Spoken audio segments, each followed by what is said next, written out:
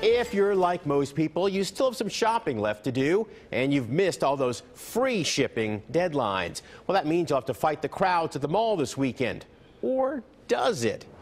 Not necessarily. You can still order a gift online Friday and get it to your house or relatives by Christmas Eve. That's thanks to two day shipping. Now, if you do a Google search for expedited free shipping, you'll learn a little secret. Some retailers still offer free two-day shipping. Among them, Overstock, Mac Mall, Macy's, Zappos, and Newegg. And Amazon offers free two-day shipping to Amazon Prime members. Normally that costs $79 a year, but if you have a relative with Amazon Prime, they can share it with up to four people. Now, if you wait till Saturday, however, you'll probably have to pay for overnight shipping, so act quickly so you don't waste your money.